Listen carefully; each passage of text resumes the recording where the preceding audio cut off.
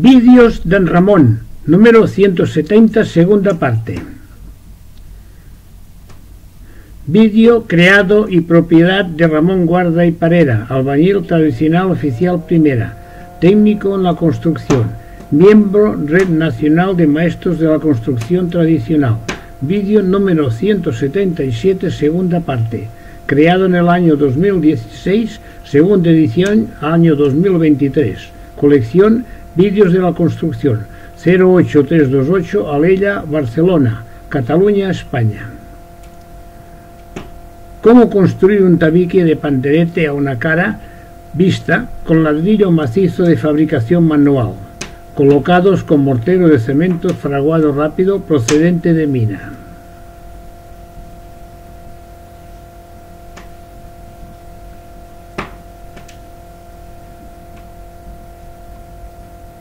Paso a paso.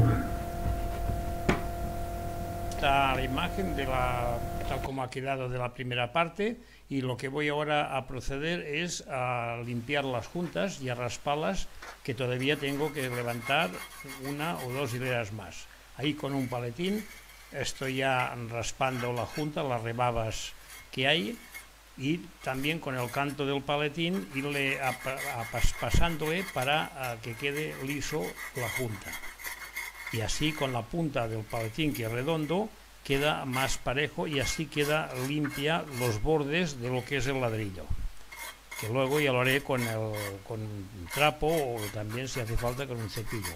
Ahí ir raspando con la punta y también con la paleta cojo un poco de cemento de lo que tengo en la artesa y voy repasando algunos agujeros, aunque desde aquí, desde la imagen, no se pueden apreciar mucho, pero allí a la vista pues se ven y es mejor eh, ya pues irlos tapando y dejando ya lo que es todo el paramento ya bien limpio, raspándolo bien, porque lo que interesa es que se vea el rojo del ladrillo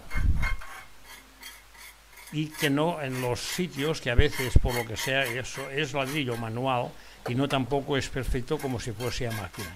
Entonces, si hay algún sitio que sobresale más, que, que no, no, entre el cemento como se ve en, en, el ángulo de arriba. O sea que si entra el cemento lo que hay que hacer es rasparlo, disimularlo más para que no se vea un grueso grande del mismo y al pasarlo así con el paletín de canto no se ve, digamos, el rugoso de lo que es la arena del mortero. Allí bien repasado. Luego ya cojo un paletín más pequeño para ir raspando, que he querido más conveniente. Y ahora con el trapo será cuestión ya de ir fregando y se nota el cambio lo que es el trapo mejor es que se, esté bien seco, porque si es mojado luego se empaña todo lo que es la obra. Al ser seco, pues no deja y de vez en cuando ir dando la vuelta al trapo para que no manche luego la, el ladrillo.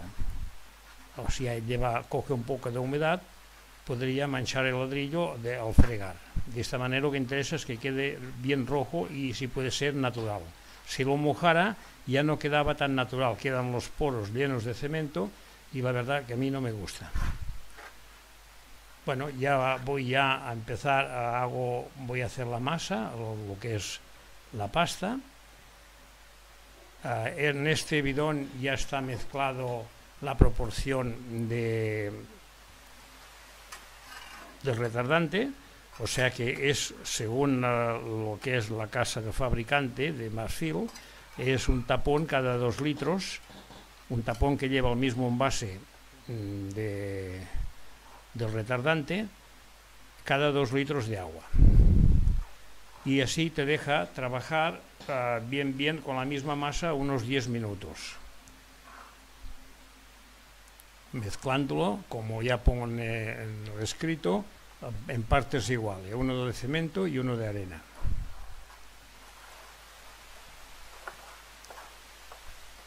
Si puede ser que sea en partes iguales, porque a veces al cogerlos con la paleta, uh, el cemento se mantiene más amontonado que la arena. Entonces lo que hay que mirarlo bien, que no sea, uh, en fin, que no se esturbe y que no pongas más arena que cemento o diversa. Los ladrillos son de fondo de obra Durán, elaborados a mano,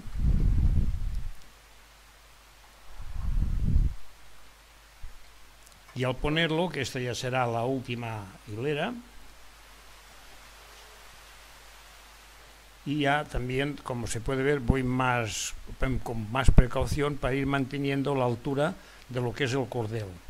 O sea, si fuese la, el tabique fuese para ir revestido, entonces no hay que mirar tanto, no hay que esmerarse tanto, porque si te queda un ladrillo más alto no pasa nada, pero ser ladrillo visto interesa que la junta vaya bien horizontal siguiendo lo que es la cuerda.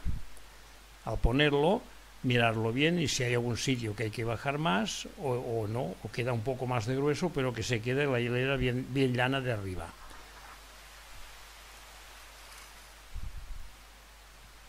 Ya en tierno, si se puede rejuntar y la costumbre que tengo es de pasar la paleta con, el, mismo canto,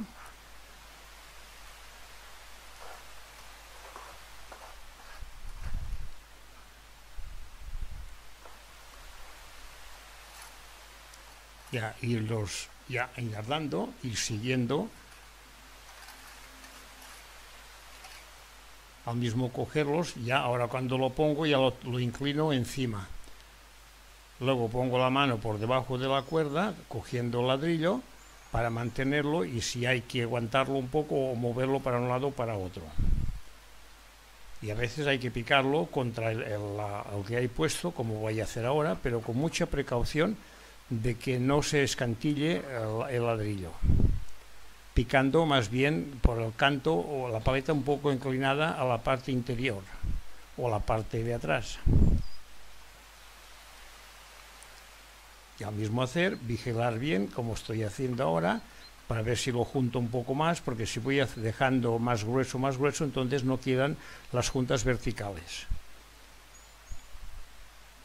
Cuando se hace una pared de cada vista o de ladrillo, aunque sea ladrillo de 15 o tabique, siempre hay que procurar que las juntas verticales coincidan con la, con la línea posterior, a la posterior no, a la, segunda, debajo de la posterior, tienen que coincidir las juntas lo más vertical posible. Aquí al ponerlo ya voy con cuidado y aprieto con la mano como se puede ver que sobresale el cemento y así el que sobresale ya le aplasto con la punta de la paleta en una zona que no, no sobresalía. Ahí dándole un poco de golpe.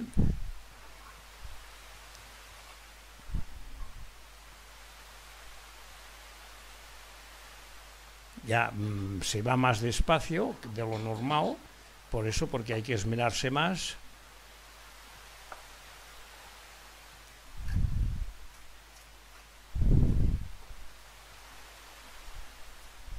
y también ya digo la hora de colocarlo fijaros de que lo inclino lo subo con el cemento para arriba y luego le doy la vuelta al momento de irlo por poner.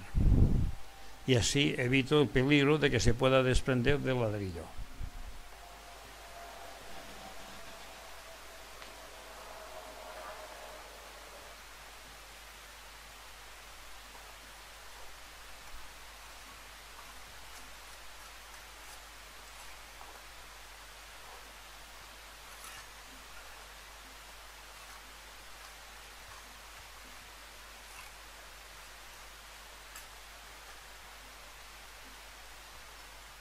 así al mismo poner ahora ya enseguida cojo y pongo la mano por la otra punta por debajo del cordel y así el cordel me queda libre y puedo ver bien dejando el entreguarde correspondiente.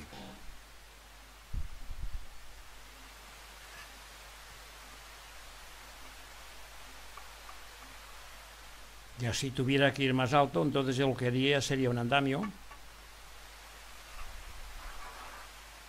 pero como que es demostración, pues ya aquí ya lo dejo.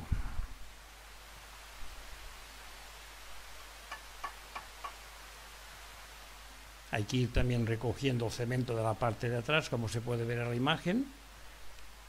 que al final ya se verá también una, imagen por tomadas por detrás del tabique uh, que estoy realizando.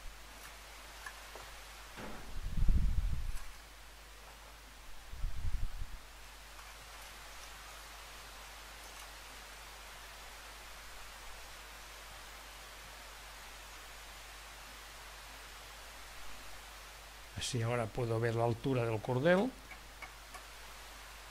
No se puede apreciar muy bien, pero estoy picando la parte de arriba. Y ahora ya pues recogiendo el cemento y tapando si queda alguna, alguna grieta, o sea, una junta un poco vacía.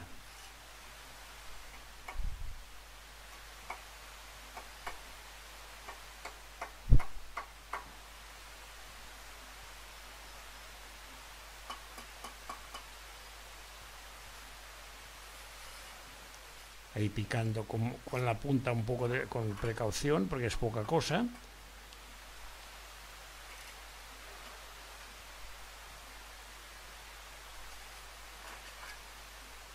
Y ahora como que ya se ha secado o ya fraguado la parte que hemos hecho en principio por eso le paso la paleta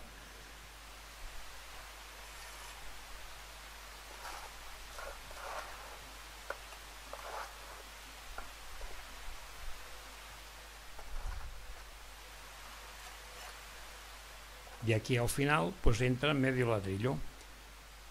Al medio ladrillo que va bien poderlo untar por las tres caras pero en este caso nada más lo puedo hacer en dos.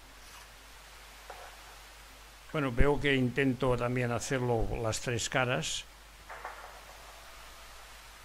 que son la que toca los ladrillos y la que toca abajo. Se mantiene bien algunas veces no se puede hacer y siempre lo que hago es untar la parte que va contra la pared o contra el marco.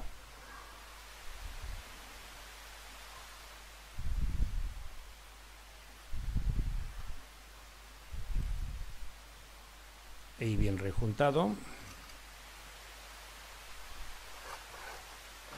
Y lo que hay que procurar siempre es cuando el trabajo, sea el trabajo que sea, dejar la artesa bien limpia el cemento siempre amontonado para poderlo coger, que no esté todo escampado, esturreado por, por él mismo. Ah, ya estoy haciendo ya los últimos retoques, ya para enseguida empezar a limpiar. Bueno, ya estoy aquí con el paletín pequeño ah, limpiando las juntas, como que ha secado. Si no, si está recién hecho también lo hago, pero con más precaución. Este ya ha fraguado, al ser de fraguado rápido, es la, la última hilera.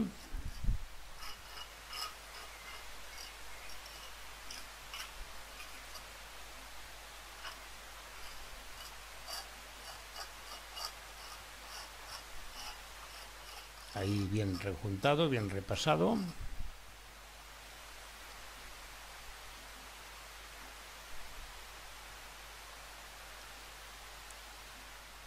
fregando con un poco de energía.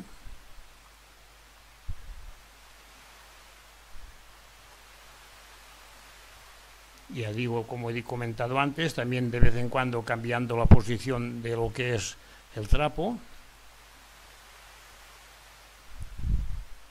porque entonces si queda humedecido es cuando queda llena, ahí por lo visto no se saca bien con el trapo y lo hago con el cepillo de púas que son de plástico.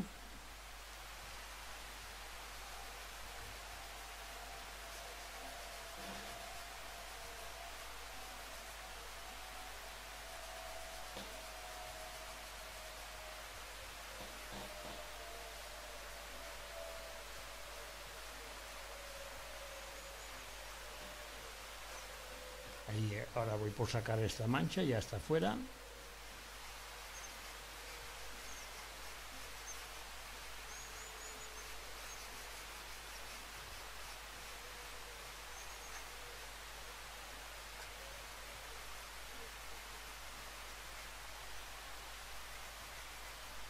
La limpieza es lo principal también porque así se ve todo el ladrillo entero. Si lo deja sucio entonces no tiene sentido y tampoco no tiene el mérito de un, de un tabique de cada vista.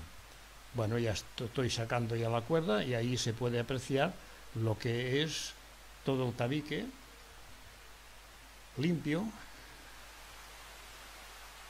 y sacando la cuerda o el cordeo, perdón. Aquí se puede apreciar ahora una imagen limpia del todo.